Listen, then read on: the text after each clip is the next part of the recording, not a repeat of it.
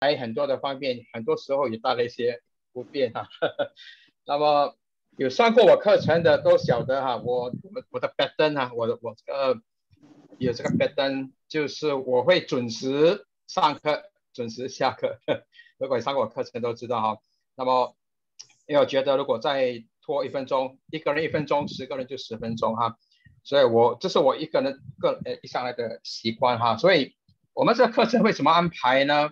我们哈就是会啊，每一课我们就从八点八点到九点十五分，我我就会停啊，然后九点十五到九点三十，我们有十五分钟可以来分享哈一些反馈啦，一些啊提问时间，啊，除非圣灵感动，我们可以继续的讲下去啊，否则的话，我们就是会八点开始，然后到九点十五分我就会停哈。啊，啊之间如果说需要啊休息，你你让我知道，我们都可以停一停哈，啊播一首歌，喝一点水。那么在九点十五分到九点三十分，我们就会一段十五分钟时间啊一起来分享。那如果说在上课期间你们如果掉了线哈，不要慌哈，啊就是重新再进来。OK，那如果是我这边掉了线呢，你们也更不要慌哈，我这边的网络不是很稳。啊，刚才我还课程还没有开始就掉线了，你们还没有上线哈。刚才七点四十五分我就掉线了，因为网络不太稳哈。所以如果我掉线，你们别慌哈，不要就说哎呀没有了哈，就就回去睡觉哈，不要。你们你你们可以就是走到厨房啦去走走啊，找找找看有没有有什么可以吃的啊。还是你的晚餐的碗碗还没有洗啊？你可以趁那个时间去洗。所以记得，如果你本身掉线，很简单，就是重新进来哈。我们都有工作人员，就是帮你们再次的进来。然后，因为这课程我们蛮多的，还有很多弟兄姐妹啊陆续的上线，所以我们一般就会把大家的这个麦都关闭啊，以免造成噪音。因为我说这科技。带来方便，带来很多不便啊！如果我们一个人开着啊，可能背后有些电视节目，哇，影响很大哦。所以我们就会关闭。不过随时随地你们都可以打开麦，有任何的问题啊，啊，都可以打开啊，或者你可以打在这个 chat group 啊，主力姐妹会帮我看看 chat group 里头有没有什么问题啊。如果说我掉线了，我还不晓得啊什么哈。或者你们听不到我的声音，我还不晓得，我一直讲一直讲哈，你们都可以打开麦啊，告诉我，或者是啊，主力姐妹应该会会提醒我。所以呢，啊，一个半小时四课就是六个小时，我们六个小时来看这马拉基书其实是足够了，因为这马拉基书这卷书不是很长哈，只是四章啊，当中有谁已经有看过一遍了？有吗？可以不用不用害羞哈，哇一遍哈，哇 Amy 姐妹看一遍，桂兰姐妹也是哈，啊那个雨华弟兄也是，有没有看过两遍的？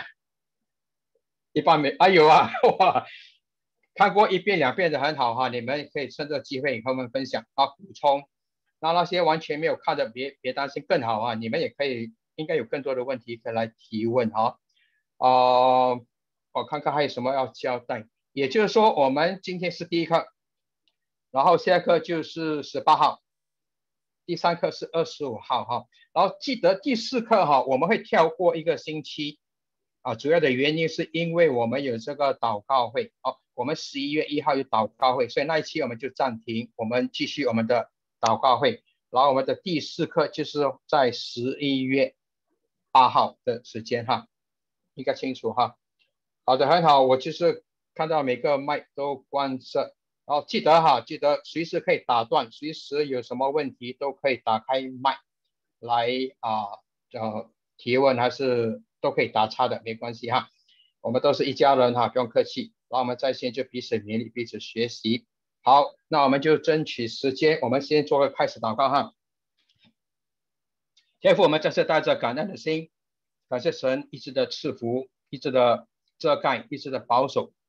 你的恩典足够我们用，那更多时候我们一直都啊忘了神你在我们身上，我们的家庭，我们的生命中所赐福的，我们都当作是理所当然的，很多时候都忘了啊忘了感恩。我们此时再次感谢神，也借着这样的机会，我们能够通过四个星期二的时间在线一起来学习，彼此来勉励。我们再次把线上每一个弟兄姐妹，就是你看到每一个渴慕的心，祝你必定会来加添。啊，通过这个课程，让我们再次看到或者听到我们过去忽略的，也从中再一次来彼此来勉励、来学习、来彼此来激励。我们再次的感恩，我们祷告呢是奉靠主耶稣基督宝贵的圣名而求。我们大家说阿门哈，阿门。好的，那我们就开始吧。我们大家。绑好安全带哈，我们开始了，要起飞。我们现在就来看，今天我们要分享的哈，就是马拉基书哈。那一般我如果分享，我就只是看到我的屏幕，看到我的 PowerPoint 就看不到你们哈，所以感觉上就是有点怪怪。好，马拉基书，这是我们要来探讨的哈。我们先看我所准备的一些 slide 哈，马拉基书就是读过的就知道哈，就是圣经旧约里头的一卷小先知书哈，也是最后的一卷书，最后的一卷这个小先知书。那圣经有分大小先知，我们就这大略的啊，给大家做一点介绍哈。大小先知的分类不是因着他们的个子大哈，不是，或者是说年龄多大，或者说哦这个这卷书比另外一卷书的重要性更大，不是哈。所以记得大小先知的归类哈，其实是根据它的篇幅的长短而被归纳。所以我们说我们今天看的这卷马拉基书哈，这名字很好记哈。好像是马拉基，这马拉基书就是篇幅不是很长啊，才四章。那你把它的节数加起来就五十五节啊。当然，当时他们写这卷书的时候也没有分章、没有分段、没有分节啦，这是我们后来的人把它给分出来。不过因为篇幅的呃比较都属于短的哈，就把它归纳为小先知书。那我们知道旧约里头。大先知一共有四卷哈，就是好像以赛尔书这些都是篇幅非常非常的长。那有甚至一卷就是只有一章而已哈。啊，大家可能有看过，就是阿巴迪亚书只是一章，所以都是归纳成小先知书。那十二个小先知，所以记得不是因为小先知就不重要，好，都是一样重要。那么当时他们本身也不晓得啊，他是属于大先知还是小先知，完全不不晓得。是我们过后我们的学者这样把它给归纳，也方便我们的的学习哈。好，啊，马拉基书一个我们要注意的，我们说是旧约最后一卷书。然后如果你翻阅圣经，你再翻一页，多一页一翻一翻就是新约的马太福音啊。我们这样一翻很容易哈，感觉上好像是啊，马拉基书是是记载昨天的事情，那么现在就是今天啊，马太福音新约的事情，其实不是。那其实从这个马拉基书哈，到这个新约的这个马太马太福音之间哈，学者告诉我们，其实有四百年的间隔时间，多么厉害哈！我们一翻只是一页而已，可是那么一页之间，旧约跟新约之间一共有四百年的间隔时间。那这其中也有很多很多，我们相信其中的原因啦。哦，因为特别是马拉基书，就是耶和华神哈，就是一直的劝告、劝告、劝告，通过先知一直的劝告、劝告、劝告这些以色列人，可是。还是一直讲不听。我们知道神拣选这支以色列民族的目的，就是要通过这支民族哈，然后向世界其他的民族、其他的国家、其他的种族来显示神的爱、神的恩典。可是这支民族一直以来从头开始都一直让我们的耶和华神感到失望。多少次呢？无数次了，就是一次又一次的让神就是感到啊灰心啊失望，摇头。所以特别到了马拉基书，我们会看着这卷书，神好像已经到了一个什么样的地步呢？就是说，我不要再讲了，我不要再讲，再讲也没有用。好，我们当中做父母亲的，做阿公阿妈的，可能有这样的经历。哦，特别可能孩子小的时候。还是在叛逆的期间的时候，你怎么讲他都听不进，你怎么劝他都听不进。是这卷麻辣技术以上的一个特色哈，它其实就是好像一个一个对话，其实是超越对话，其实它好像是在有人说是辩论哈，呃，我觉得应该不太贴切说辩论，为什么呢？因为辩论是可能两方都有理哈，两方。正方反方都有理才辩论，这马拉技术其实是属于比较像是在狡辩一样，就是一面倒的，而另一边就是强词夺理哈。我们想象一下这个画面，我们可能有经历过，我们本身可能小孩童的时候，或者当父母亲的时候，看到小孩子啊，或者我们在路边有时候都时常看到的这样的画面哈，就是一个可能父亲还是母亲。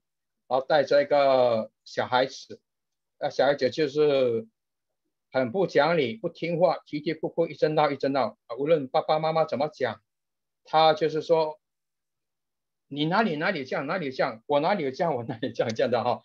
所以这这卷书里里头我们可以看到，就是很多这样的对话。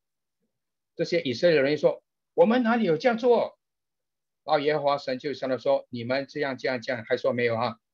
不止一次。”说嘛，他很多次，我们那里不呃不不敬畏你，我们哪里有这样，我们那里那样，就是这样的一个一个画面啊。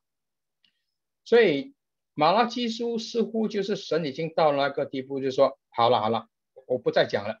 哦，这父母亲也是很熟悉哈，就是孩子讲到一个地步，你就完全好像投降，哦，算了，我不讲了，完完全全的完完全全的安静。所以马拉基书到新约马太福音，就是这四百年间，就是神保持静默了，完全没有来自神的话语，没有来自神的这个信息。所以圣经学者都把这期间称之好像四百年的黑暗的时间。所以感谢主哈，在这个马太新约马太福音出现之后呢，我们就是看到这四百年后的曙光。再次的出现了，那么在这曙光出现之前，就是四百年的这个静默的这个时间。我们来想象，如果我们能够好像超越时空哈，假设你是一个非常热爱神的话语的，天天都要读神的话语的，一直要听神的声音、看的话语的，你可以想象这四百年。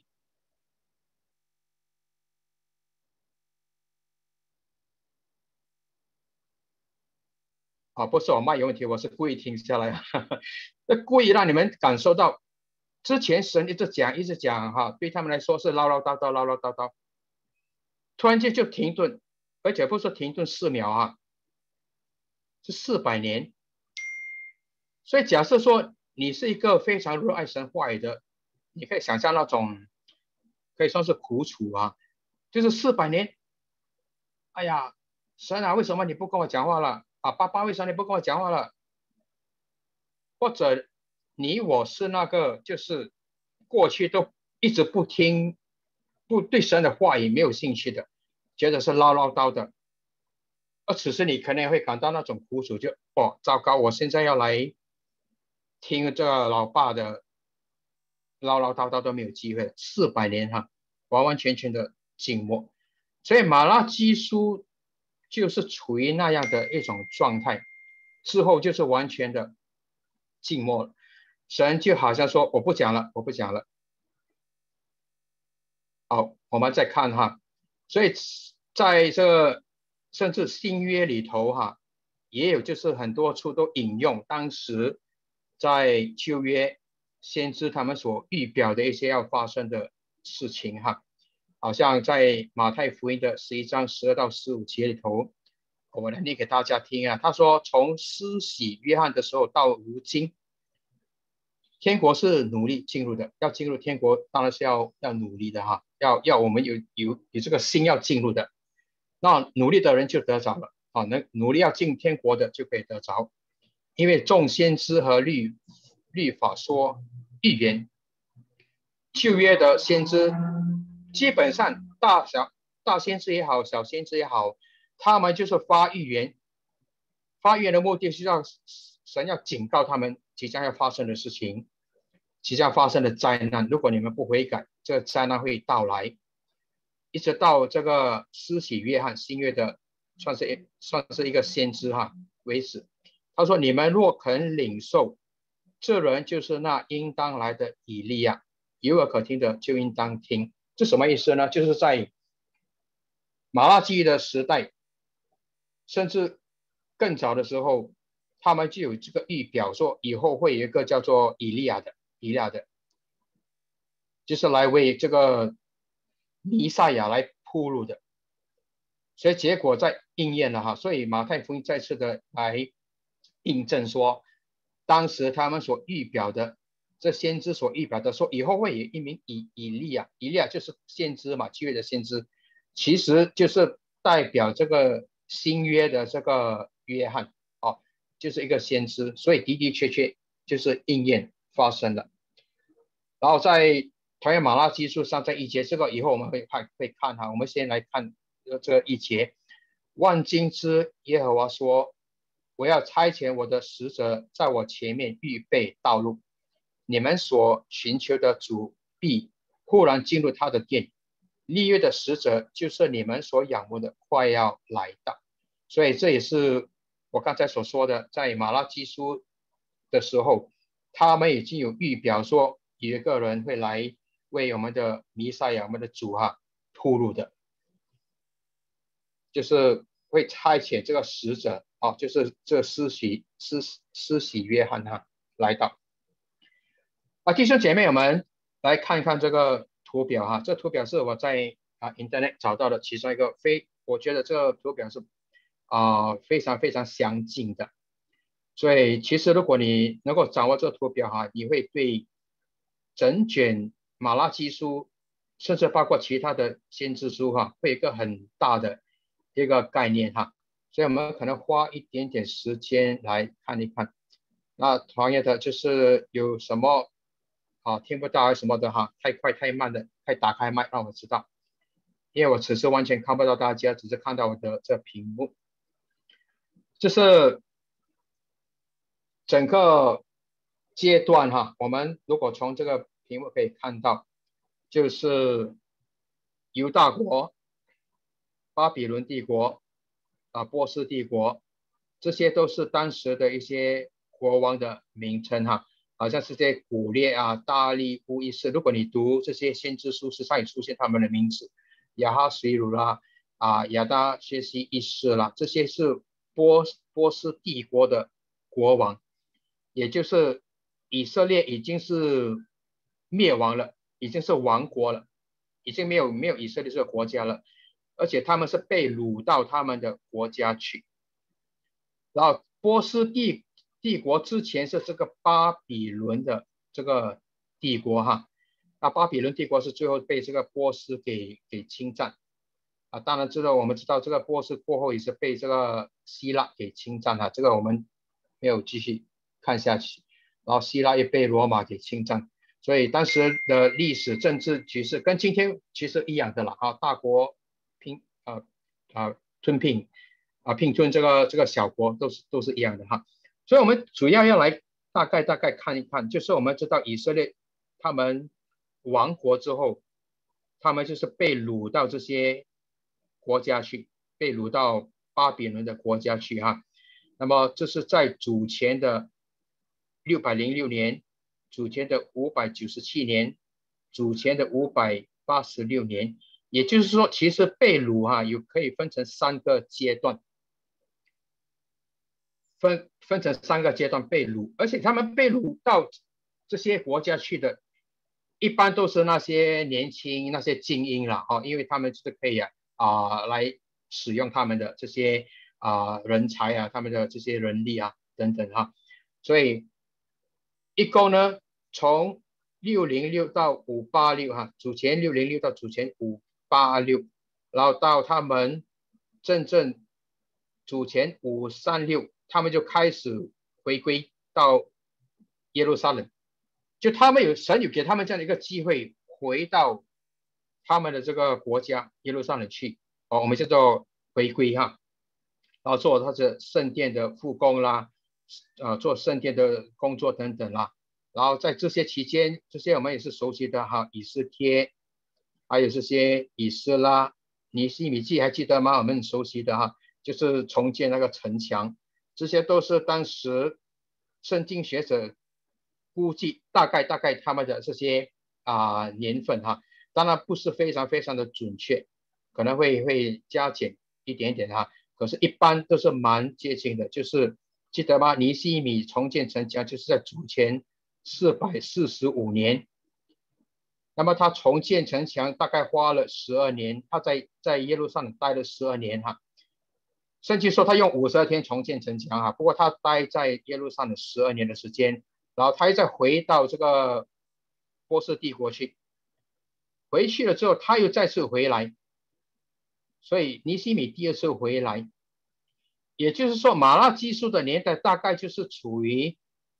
尼西米再次回到耶路撒冷期间所所写的哈所发生的事情，可以哈。所以，所以我为什么想就是说我们的课程就是到九点半结束的原因，就是因为哈这些都是一些一些查清。如果我们说拉到十点哈，大家会很吃力，因为我们在线哈跟在在场。教导不不一样，在线我们的吸收力一般都没有那么那么长哈啊。如果说是那些生活课题，那就不一样，我们谈到十点、十点三、十点半都 OK。可是这查经课程，如果我们拉到十点啊，大家会会很累，所以没关系，我们就是啊加油啊，我们继续。那如果需要休息，让我知道哈。这图表这些。先知书，我们说先知哈，哈巴谷我们都有很熟悉的哈，阿巴迪亚啦、以西结、但耶里、耶利米，他们大概是是处于这这个时间的的啊先知，然后哈该、撒加利亚哈，就是属于这个年份的，然后马拉基就是属于差不多啊主前四百四百三十多年左右了的那个期间，啊这边我要 highlight 一点的就是。这个贝鲁七十年哈，我们其中也可以看到很多很多神的信实了，因为神在这事情还没有发生之前，已经通过先知给他们预预表，告诉他们说，以后他们会被这些强国给吞灭。我们知道以色列当时分成南北两国哈。北北国就是以色列，南国是叫犹大，那北国是被这个亚述帝国给给吞灭，那南国呢就是被这个巴比伦给吞灭。所以神预先就告诉他们：你们如果一直不悔改哈，不归向我耶和华神，而一直去拜那些偶像啊，一直的背叛，一直远离，结果会发生，的确已经发生。可是。恩典的神告诉他们说，神还是会让他们七十年后啊，七十年后再次让他们回归到耶路撒冷，回回家哦，七十年可以回家，所以这些都是从圣经里头很多处可以印证的哈。我们刚才说主前六零六哈，如果你用计算机去减一减哈，主前六零六。减掉主前的五三六就是七十年啊，我们刚才看的那个七十年，主前六零六哈，减掉这个主前五三六，所以七十年的时间，所以耶和华神的话也是非常的信实。神说：“我是怜悯的神，你们虽然不听话，我就让这些国家来来通过他们来教训你们了。”所以神准许这些亚述国来来攻占他们，神准许巴比伦帝国来攻占这个犹大，可是神说我还是会保守你们。所以看以色列神所拣选的这些民族，神的恩典一直跟着他，没有离开过，到以后也不会离开。所以神说七十年后我们还在让你们回归，也就是让你们再次有这个啊重新开始的机会。我们刚才说都有可以找到印证的哈，在耶利米书，耶利米书也是一个一个先知哈，这是属于大先知、小先知啊，大概都知道哈，看他的篇幅这么长哈，所以这个是一个大先知哈，耶利米书是耶利米先知是一个大先知，他在他的书写里头曾经这么说，他说：“所以万军之耶和华如此说，因为你们没有听从我的话，结果怎么样呢？”我必招北方的众族和我仆人巴比伦王哈，尼布贾尼沙，这个我们很熟悉的哈，尼布贾尼沙哈，来攻击这地和这地的居民，并且什么呢？视为一切的国民，我要将他们进行灭绝，以致他们，他们指的就是以色列人了哈，令人惊骇嗤笑，被人家取笑，并且。永久荒凉啊！这是耶和华说的。我要使欢喜和快乐的声音、新郎和新妇的声音、推磨的声音和灯的亮光从他们中间止息。他们灭国家灭亡了，被掳到敌方去了，这些都完全消失了哈。那有什么欢乐啊？什么都完全没有了。这全地。必然荒凉，令人惊骇。这些国民要服侍巴比伦王七十年哈，所以神之之前已经告诉他们要服侍他们七十年，也就是说七十年后他们可以获得自由哈，可以就是回到这个耶路撒冷。当然，当他们七十年后回回来的时候，已经不是巴比伦。帝国了哦，我们刚才说巴比伦帝国已经是被波斯帝国给给侵占，所以他们来的时候是波斯帝国的时候，不过是从巴比伦这个国家啦，他们原本的这个啊国家那边回到耶路撒冷啊。七十年满了以后，我必刑罚巴比伦王和那国民，并加了底人之地。因他们的罪孽使他那地永远荒凉，这是耶和华说的。所以这些神都预先告诉他们结果会怎么样哈。巴比伦结果也没有什么好下场哈，就是被这波斯帝国给吞灭。我也必使我向那地所说的话，就是记在这书上的话，是耶利米向这些国民所说的预言都临到那地，就说。神说耶利米先知所预表的这些都要成就了，都会发生哈。所以弟兄姐妹，或许我们此时也可以再做一点反思哈，就是说我们再回顾看圣经旧约，特别先知书里头每一个先知、大先知、小先知所发的预言哈，我们如果再去翻圣经，我们可以找找看到底有没有一个预言没有应验哈。我们可以肯定的说没有啊。每一个耶和华神所预言的会要发生的都应验了。我想整卷圣经里头的预言哈，可能还没有还没有应验的，就是可能主耶稣的再来哦，主耶稣的第二次再来，只有这个还没有应验，其他的一个一个的都应验啊，包括弥赛亚耶稣基督的到来啊，会降世，已经之前。几百年前，耶稣还没有诞生的几百年前哈，都预言了，而且就是发生了。可是我们看到什么呢？还是千千万万的人不相信哈。即使那些当时亲眼看到、目睹耶稣的，也不相信；亲眼看到他施神迹奇事的，还是不相信。所以可以想，我们的人心有多么的可怕哈！如果说没有被引证、没有走正的话，那么一个真实的话那些真理，我们可以把它当成就是一些不经意的一些呃呃信息，甚至不把它当成信息哈，但这是笑话啊！耶稣是我们的救主，信他就有永生，你多少能把它当成是笑话？太多太多，数数都数不清。所以我们可以反思人的心所做的决定会有那么的天渊之别哈。一个可以选择说，是啊，我要向耶稣这神成人的救主哈来认罪悔改。那一个可以选择说，我完完全全不相信。那另外一个可以选择说，我为什么要信耶稣？我要去信，我要信的。这地球这世界有多么多可以供我选择的啊？为什么我要选择耶稣哈？这这是我们在课程还没开始之前，我们可以反思的一点啊。或许我们也可以再想想，我们说真理，真理啊！耶稣说我是道路、真理、生命，真理。我们一直讲真理啊，呃，我们有时候巴不得像那些非信徒说。神的真理还不够真吗？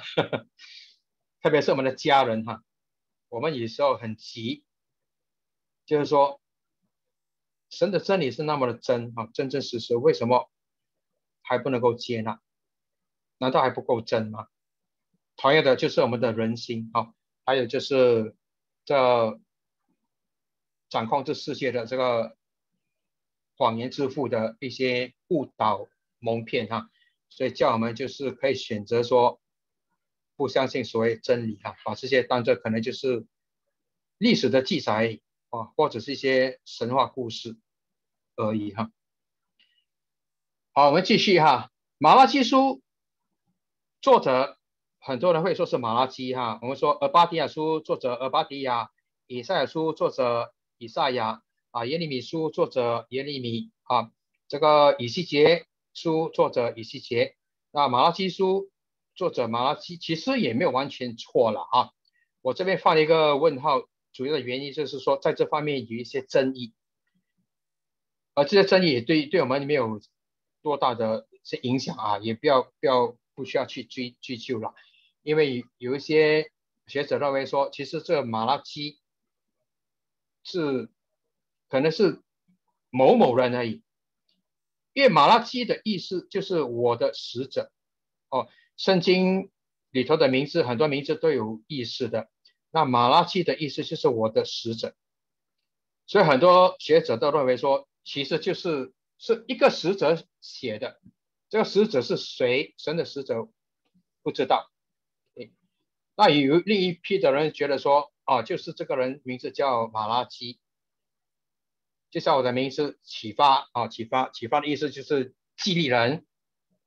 那你可以说啊，是一个激励人的人写的，或者说啊，真的有这个人叫做启发。所以马拉基也是一也是一样了哈，就是说有人认为说只是一个一个代表性的一一个使者哦。那有有有一些人说就是这个人的名字叫马拉基，所以这个不太重要哈。那时间我们刚才说说大概主前四百三十年左右的时间哈，就是四百三十年后耶稣就诞生，地点发生在耶路撒冷的这个地方。背景呢，我刚才说就是被掳后，他们回归耶路撒冷的期间，也就是他他们开始回归之后的时间。那我们刚才说记得吗？就是尼西米。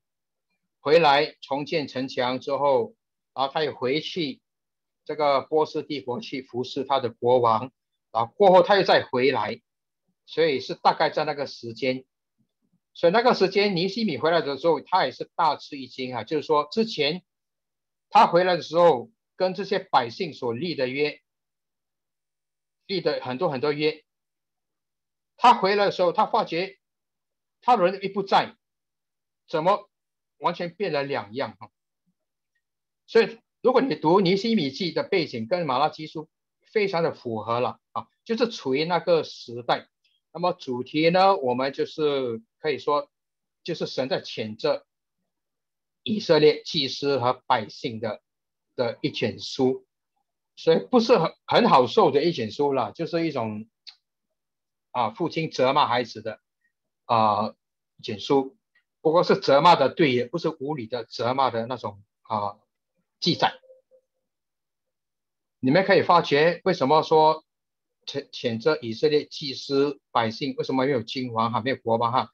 过去的以先知书很多时候都是。谴责国王啊、祭司啊、百姓，你说哎，好像就是比较好啊，没有谴责啊君王、国王。那如果你可以发掘其中我们刚才讲的背景啊，你大概也可以猜到啊，其实此时以色列已经没有国王了啊，已经是亡国了嘛。这个耶路撒冷其实已经是这个波斯帝国好像他们的一个省这样哈，一个殖民地。有一点像，好像啊啊，中国跟香港这样，啊，好像是就是由中国来管制的这个香港，啊，当时就是这个耶路撒冷也是受到波斯帝国管制，所以没有国王了，哦，没有国王，所以不是好事哈。现在神要要责备国王都没有的责备，那些国王都全部都都不见了哈，亡国了哈。好。我可能稍微放慢一点哈，怕大家吸收不来。这简书我们说不是很长哈，不过我们会有很多很多 cross reference 啊，啊旧约也好，新约也好，很多跟这个麻辣技术有关系的，我们必须来看，然后我们才能够比较明白整个事件。我们谈到国王哈，我们刚才说神为什么没有谴责国王呢？就是说，当时已经完全没有国王了。那谈到国王，我们也至少来大概解释这个以色列的整个国王的制度，这个君王制度的来龙去脉哈。我们都知道，以色列就是从亚伯拉罕，然后到他的孩子，然后到啊。以撒生这个雅各，要，以扫跟雅各哈，然后雅各的经历我们都知道，然后他们就后来进入埃及地，从埃及出来，神要带领他们出埃及哈，要进入应许之地，最终在旷野四十年之后，终于进入应许之地。那进入应许之地的时候，当时他们其实是属于所谓的这个士师时代哈，就是没有没有国王的制度。就是由士师来管理这些以色列民众了哈，就是他们的首领啦，一个领袖了哦，好像一个部长啊，一个 minister 啊的的制度，一个官员哦。那么他们怎么会进入这个君王制度呢？就是当时士师制度的时候，我们都知道哈，这个看这图片就知道，就是我们很熟悉的这个参孙哈。士师时代也是一样，就是很多都是起起落落，太多是让神失望的。同样的，就是一直的远离神，然后亲近神一阵子，然后状况好一点又远离神，又去敬拜偶像啊，娶外邦女子啦，完全的背叛神哈。所以事实里头是一直起起落落，都是一样的重复啦。OK。后来他们就争着朝着要一个国王，啊，其实耶和华神就是他们的君王啊，他们都不认这个耶和华神为君王。那神就说好，你们要国王我就给你们国王哈，所以就开始进入了这个君王的制度。那其实这是属于我们叫做君权神授制的一个一个制度哈。我记得当中学的时候念历史书的时候，念到这些。君权神授，我刚才那时觉得这太不可思议，觉得好像是哪里可能哈？哪里世间的国王是由神来来啊来授权的啊？直到现在信了主才完全知道，其实神当时在以色列是完完全全介入他们的生活当中啊，包括这些国王的拣选都是神案例哦，神通过圣灵感动的，所以当时就是开始了。以色列的第一个国王，我们都很熟悉的，就是扫罗，扫罗王哈。扫罗王就登基做王，就是四十年，然后接下来就是大卫王，对，很奇妙哈，这些都是神的的安排了，神的旨意在当中，也是四十年哈。然后接着就是大卫的儿子所罗门王啊，也是四十年。特别所罗门是以色列的最丰盛的年代啊，就是属于太顶顶峰的时候啊，丰盛的年代啊，太平盛世了。不像大卫啊，父亲大卫的时候很多战争，所以所罗门之后也是登基四十年哈，四十年之后接着下来就是他的儿子叫做罗伯安。这图片你可以看到两个名字哈，很接近的。有时候我们一直搞乱哈，到底是罗伯安还是耶罗伯安，一直搞不清楚哈。罗伯安是所罗门的儿子，他就接替所罗门的这个王位哈。那么从他开始哈，这个整个以色列就开始走下坡，衰败了。特别当时就是跟另一个耶罗波王之间的这些政治的冲突哈。纷争啊，个人的猜忌啊，等等哈，特别这个耶罗波安就是非常非常的就是缺乏安全感的一个政治领袖了，也造成他过后所做的这个决定哈，影响到千千万的以色列的国民哈，包括这个金牛犊，等一下我们会再多一点解释这个金牛犊，所以。耶罗波安登位的时候，一个非常狂傲的一个年轻人了。哦，当时他刚刚接替王位的时候，他就去不错，他也去找寻一些 advice，去去啊一些啊询问一些年长的哦啊年长的那些领袖啊，就怎么来劝他哦，就要劝他说，可能要要。对这些百姓哈，宽容一点啊。他接着又去去听另一批人的，就是跟他一起年轻的、很好胜的一些年轻人的劝告啊，听他们意见说要怎么来治理这个国家。他们就给他那种劝告说，你应该比你爸爸更更更威严呐。所以他年长的不听，他听年轻的。那么，那但是百姓其实就向他表示了说，之前哈他的父亲所罗门哈，他们好像觉得啊有一点受不了啦，可能在一些措施方面哈，所以希望这个儿子罗伯安接位之后，可能可以啊放宽一点啊啊在措施啊治理方面放宽一点。可是他最后的决定，听了这些少年人的这些劝告哈的之后呢，他的态度完全的这种转变了。他说：“我的父亲哈，你他说你你看看我的这个小最小的这个手指啊，他说我这最小手指比我父亲的这个腰围还要大，而且他说我的父亲以前是用鞭啊，如果父亲是用鞭鞭打你们呢，我现在用这个蟹子啊蟹子鞭来鞭打你们，就是给他们这样一种呃下马威了，所以这是他的一个背景啊。”这样的一个人来当这国王，我们知道这没有什么好结果。那么当时他们就分裂哦，分成南北，从这边开始哈。这个罗班就是成为南国犹大的国王，在犹罗波安就成为这北国以色列的国王，是从此分裂两国。那么从此之后，北国南国的君王多数都是腐败的啦，哦，都是多数都是拜偶像的，多数都是。远离神的，好像那些亚哈王，我们很熟悉的哈，就是叫神感到非常非常灰心的一个国王。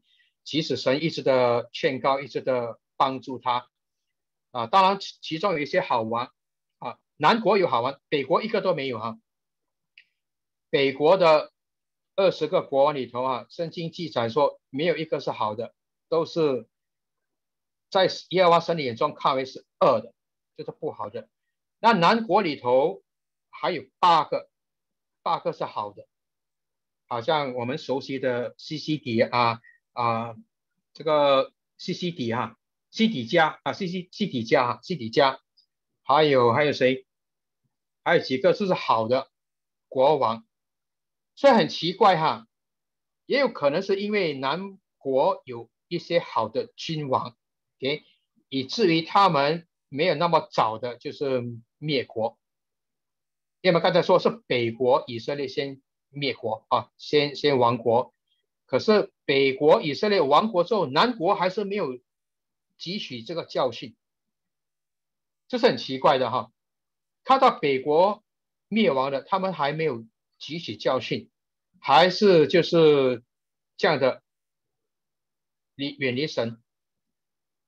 可是因这其中有八个好君王，所以可能他们可以撑得久一点哈。所以他们是在过后比较迟的时间，不过最终也是灭亡。这是以色列的呃地图哈，这是北国，这是南国。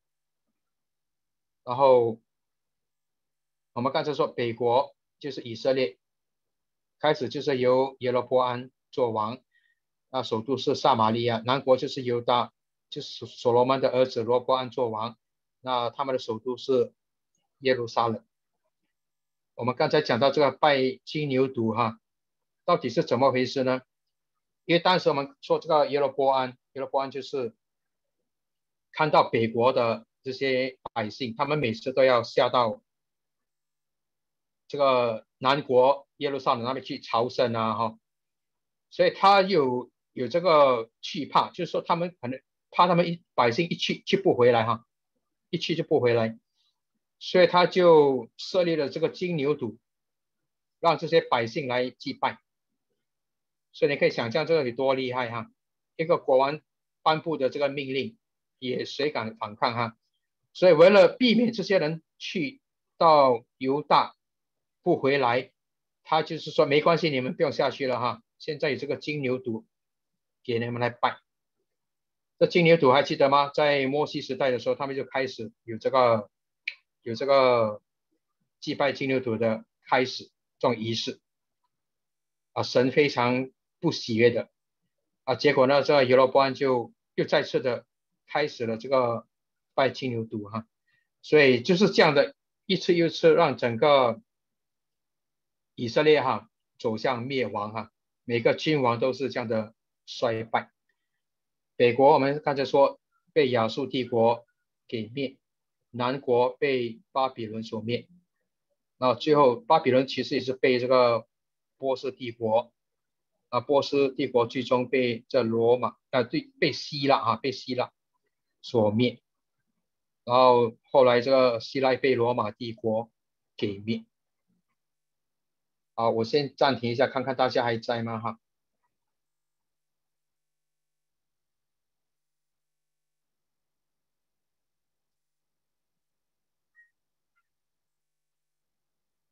所以很奇怪啊，在在 Zoom 的上课，就是我一直对着这个屏幕讲话，那。我曾经哈在教导教到一半啊，一直自己跟自己讲话嘞，就是好像是掉线啊，一会好像是掉线，一直讲一直讲讲到后来啊，原来都都掉线了，还还不知道，所以这科技有时候就是会带来这样的不便。刚才讲的这一段，你们有没有什么一些要补充，还是要啊分享？我们。可以一两分钟给大家，也让大家休息一下，也就是不要一直听我的声音。也谁？我看看这个 chat group 有没有什么没有哈？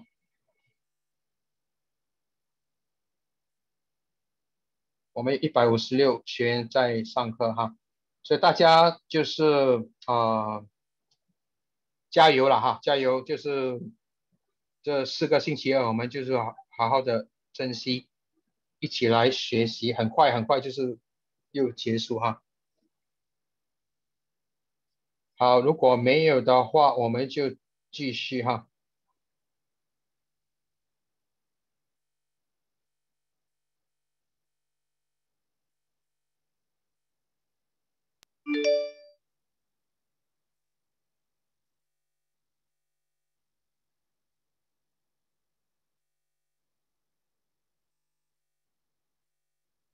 这些都看过了。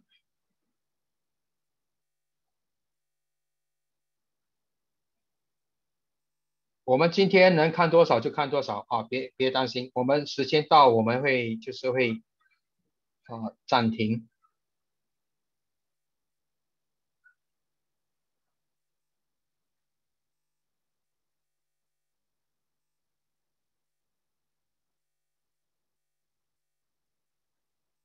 哦，现在是要大家打开圣经的时候啊，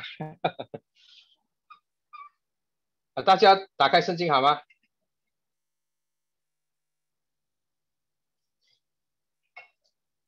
打开圣经，然后翻阅到我们刚才讲到旧约的尼西米记啊，第十章。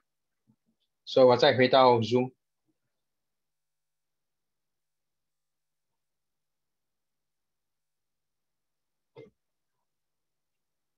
都有圣经哈。我们我们一起来查经，一定要要有圣经哈。打开或者是按啊，现在圣经都是用手按，也是比较多哈。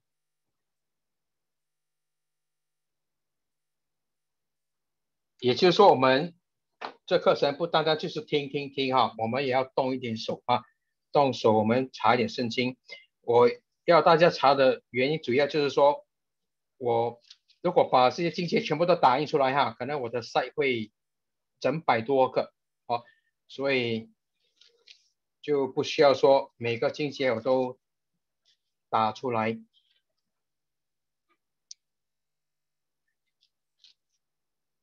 所以马拉技术很容易找哈，马拉技术就是旧约的最后一卷，好，就是新约之前很容易找。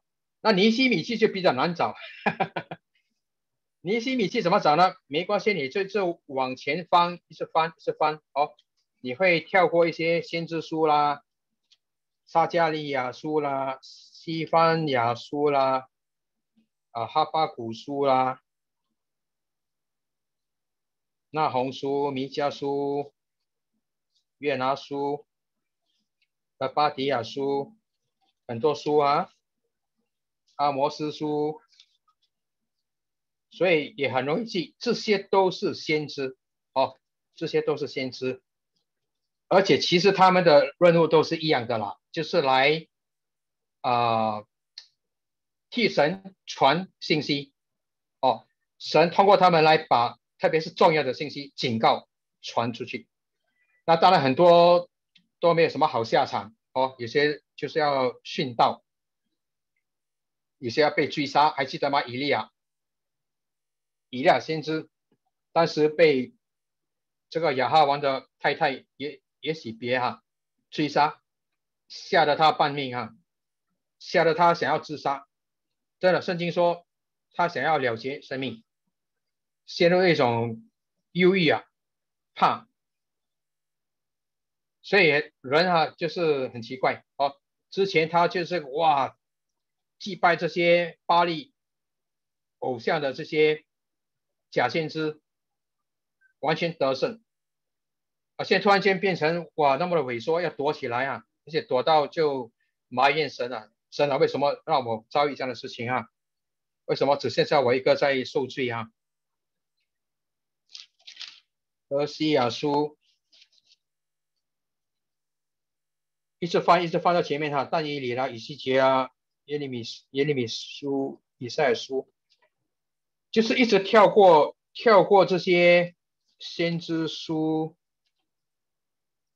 跳过真言，跳过诗篇、约伯记、以斯帖记，然后就是尼西米记。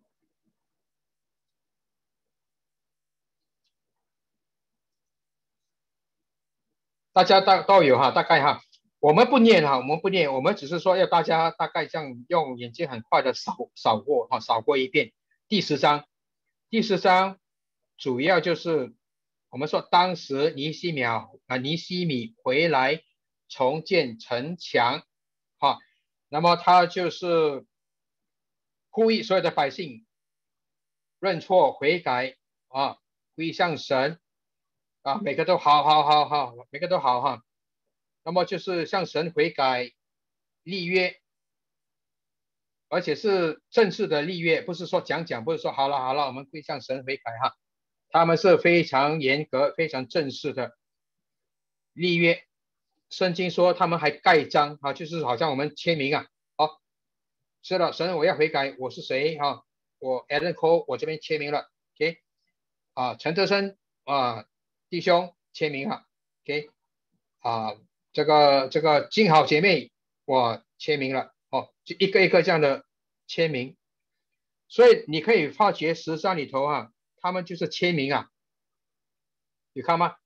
签名的是谁呢？你可以看到一大堆的名字，哦，每个就是哈加里的儿子省长尼西米，对，和西底家，这个这个尼西米哈，就是这个我们现在讲的这个尼西米哈，当时他就是。省长啊，被波斯国王派来做这耶路撒冷的省长。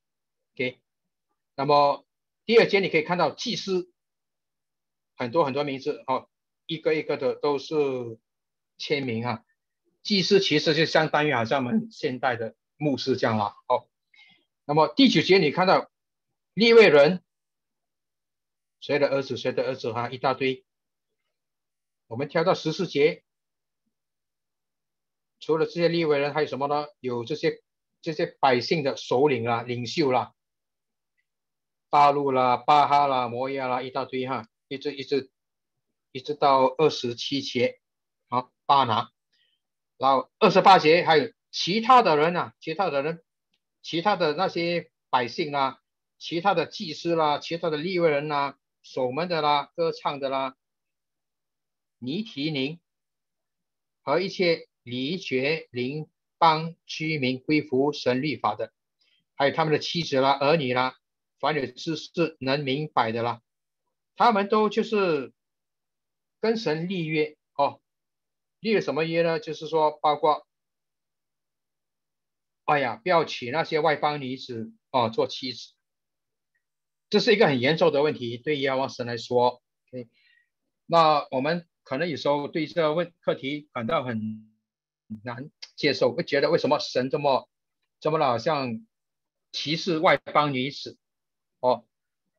为什么神好像种族歧视？为什么外邦的就不可以呢？啊，一个好好的女子为什么不可以娶她为妻呢？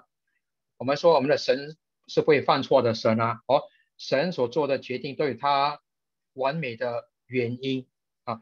那主要主要的原因就是说，神不要让他们哈。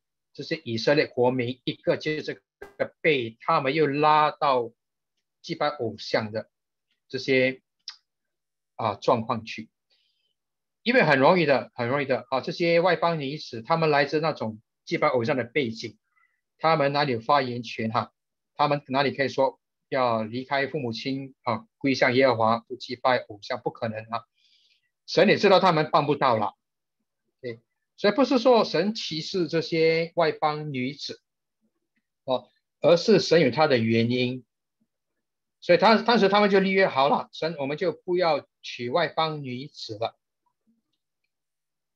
还记得所罗门王吗？一个那么有智慧的国王啊，他本身就是也犯了一个最大的错误，就是娶了太多外邦女子为妻，结果也就是完全就是远离神了，哦。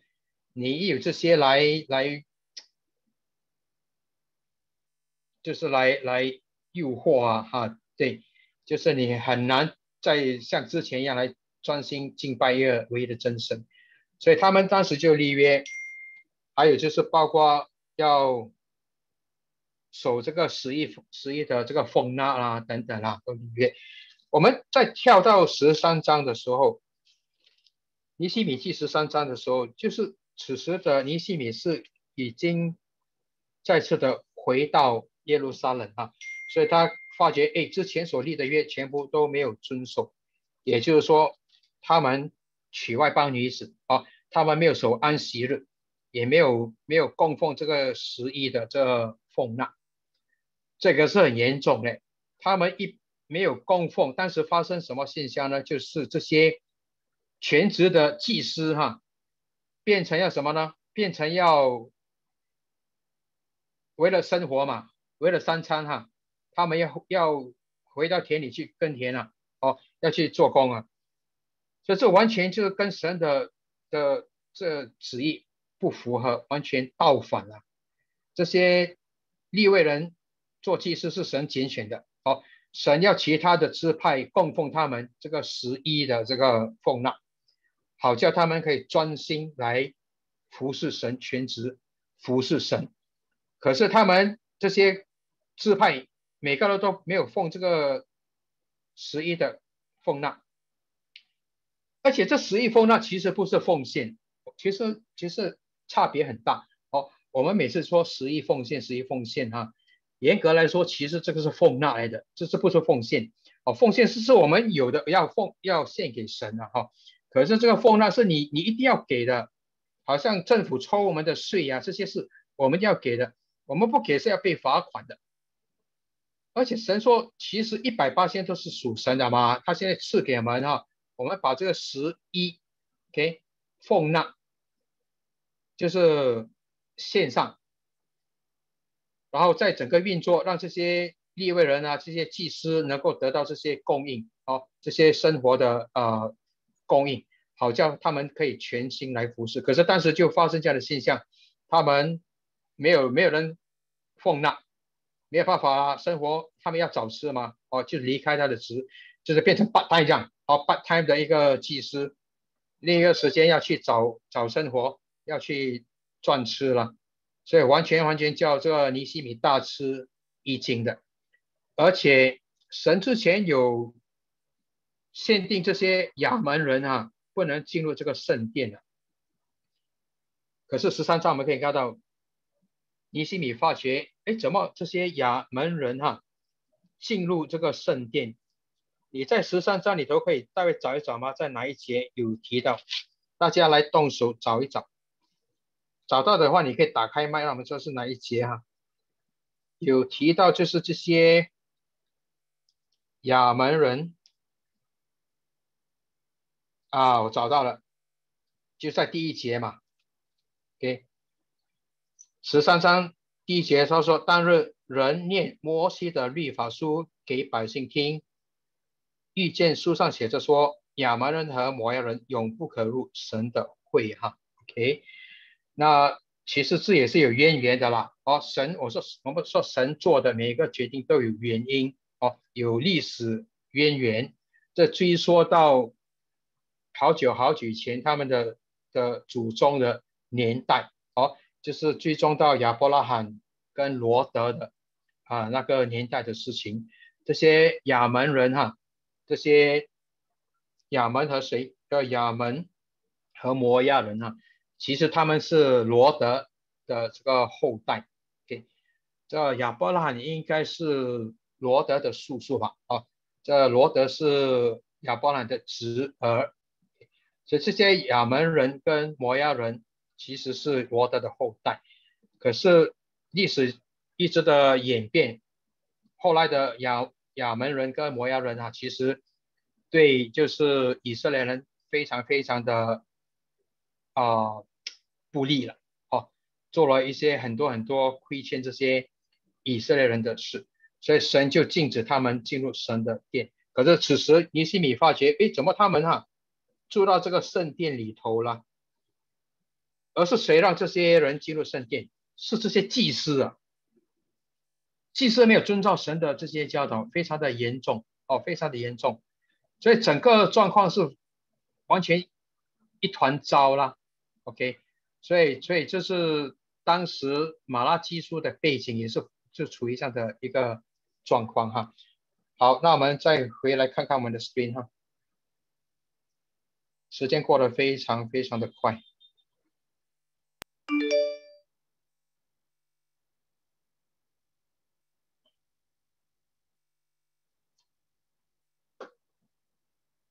好，这个我们就跳过。十三章，我们刚才也是有念了哈，就是说看到外，他们外邦女子通婚啦，没有守安息日啦，在安息日他们做什么呢？他们做他们的买卖啦，没有做十一的奉献啊啊，祭司离弃他们的圣职啊，原因就是因为没有这些供应啊。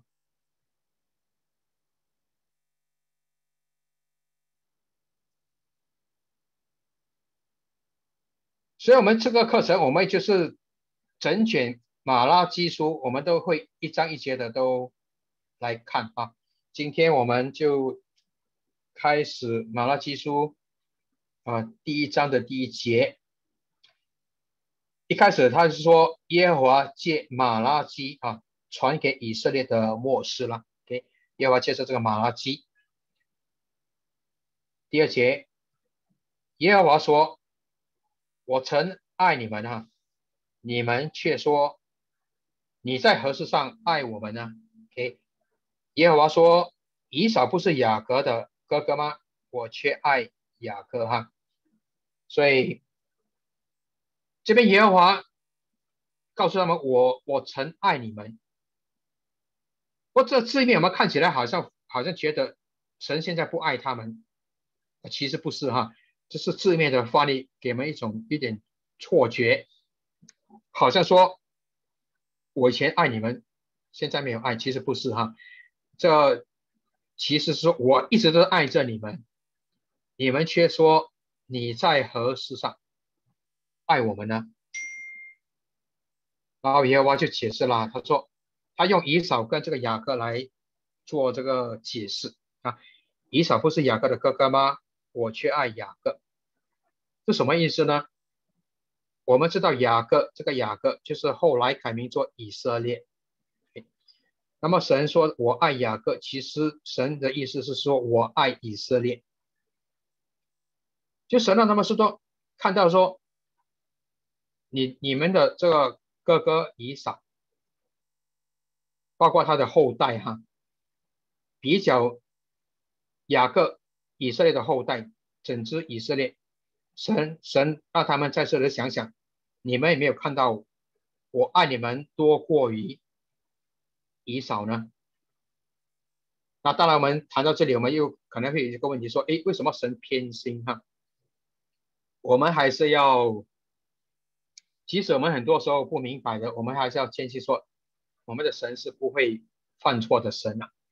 那如果神会爱雅各多过以扫，肯定肯定神有他的原因，而且我们的我们所所谓的神是无所不知，也就是说神是看到几千年以后的事情，神现在做的这个决定是看到几千年以后的事情所做的决定，所以我们此时会觉得，哎呀，神为什么偏心啊？爱以扫少过爱雅各？神有他的原因，那么接下来也是会解释其中的渊源，其中的原因哈。你没有发觉在这个在何事上，我把它放放大哈，就是在整卷马拉基书里头，你可以发觉很多这个你在何事上的这样出现过，我看有整七次啊，如果没有错哈，应该有整七次，他们这样的来访问神呢。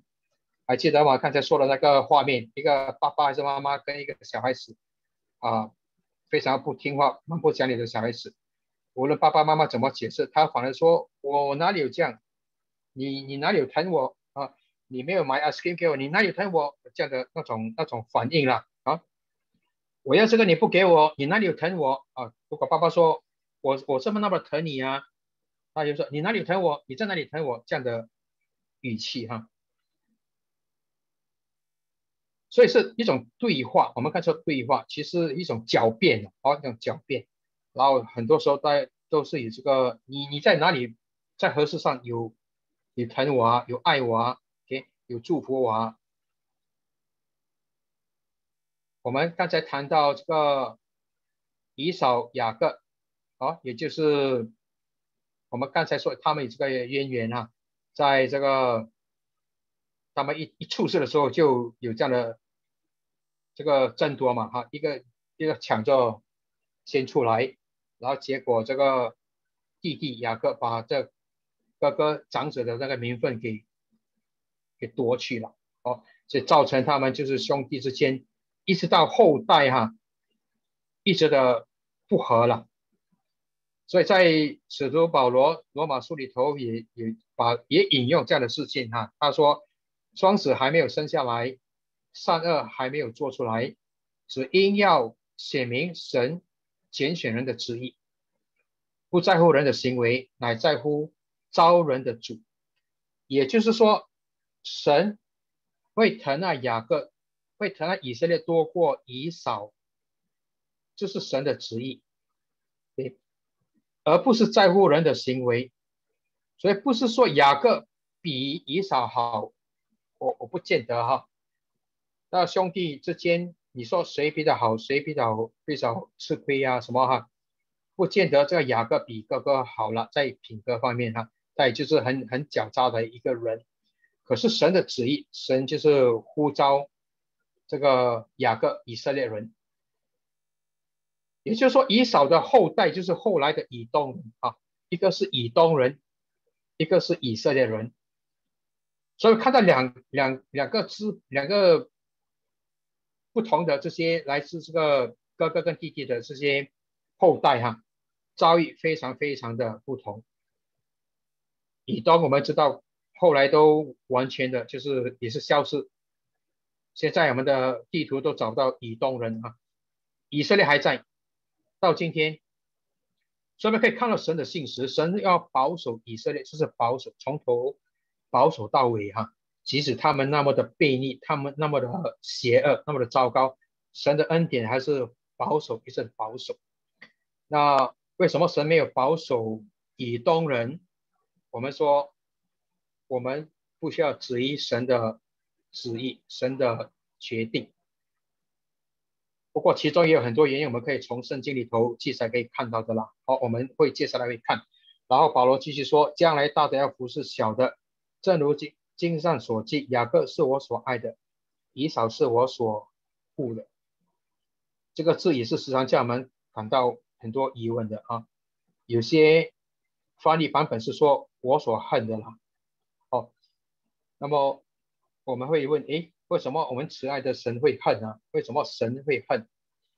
同样的，我们不能够靠这翻译字面来解释啦。那其实他这边的恶或者是恶啊。指的就是说，他的爱没有那么比雅各多了。哦，他的意思就是说，我对雅各的爱是多过以扫，而不是说神恨这个以扫。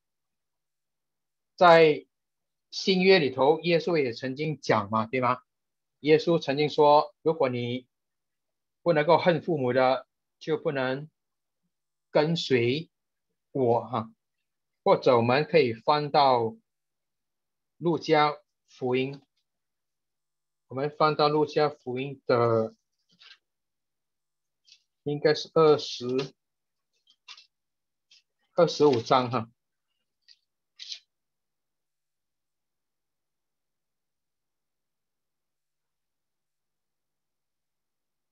然后回到我们的书。